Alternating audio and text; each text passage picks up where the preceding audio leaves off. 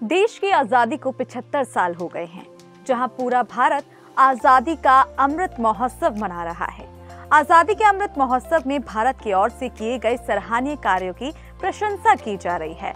वहीं कई ऐतिहासिक कदम भी उठाए जा रहे हैं, जिसमें से एक ऐसा कदम जो सीधा आकाश में इतिहास लिखेगा। जी हाँ एस के ज़रिए आज़ादी सेट को लॉन्च किया गया है, जिसमें 750 लड़कियों का योगदान है। लेकिन ये सैटेलाइट क्या है और इस अभियान में लड़कियों को क्यों चुना गया है? इन सबसे जुड़ी जानकारी आज हम आपको अपनी इस वीडियो में देने वाले हैं।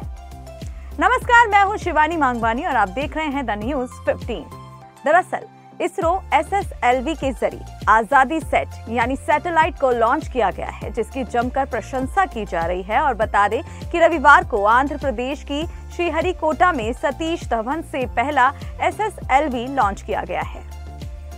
इस सैटेलाइट की सबसे महत्वपूर्ण और खास बात यह है कि सैटेलाइट को 750 छात्राओं ने मिलकर बनाया है, जो अपने आप में देश के लिए बेहद ही गर्व की बात है।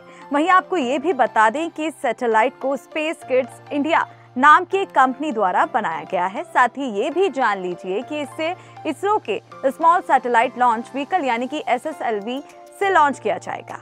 साथ ही सैटेलाइट को बनने में छह महीने का समय लगा है। वहीं अगर बात करें सैटेलाइट के वज़न की तो इस सैटेलाइट का वज़न 8 किलो है, जिसमें 50-50 ग्राम के 75 अलग अलग पैलॉट्स लगे हैं।